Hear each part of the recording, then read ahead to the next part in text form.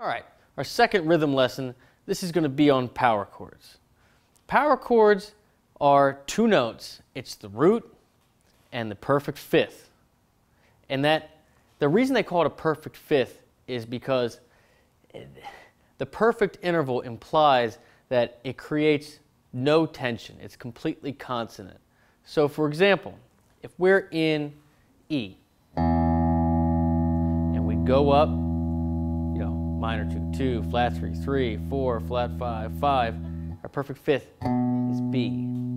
If we play those two together, E and B on the next string, you get a completely consonant chord.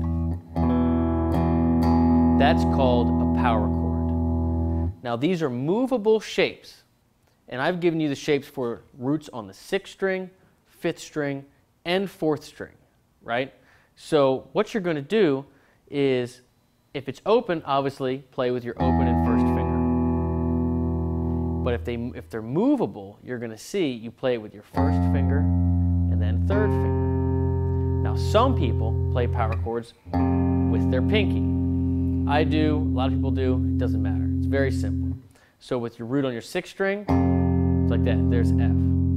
Your root on your fifth string, right? On your fourth string. They're all three the same exact shape. So what you're going to do is practice some of these closest moves, these basic moves that I gave you before, uh, the chords that go together, and practice them with power chords. So, for example, let's open our metronome here. So, we have our metronome on. Let's practice F and C.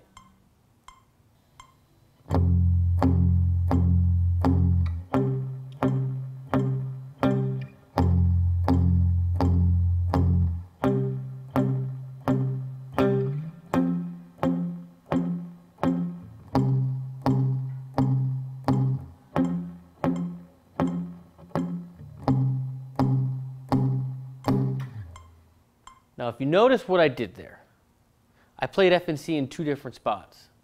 I started with F on my sixth string, and then I went to C on my fifth string. And then I reversed it. I went up to play F on my fifth string, and then played C on my sixth string. This is what I want you to do.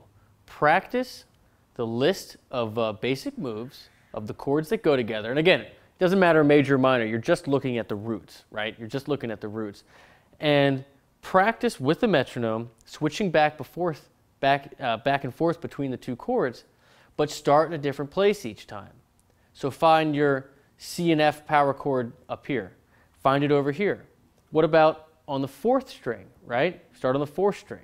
Hit our metronome.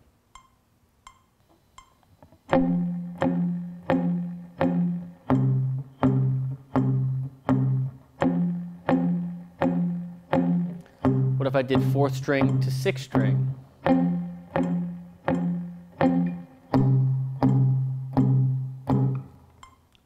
See what I mean?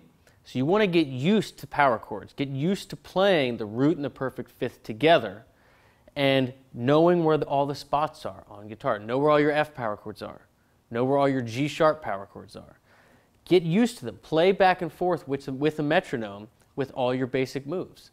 Because these power chords, whether you play rock or pop or punk or whatever it is, they're in basically everything. Uh, so many players have made a living playing nothing but power chords. I mean, think Green Day. See you next video.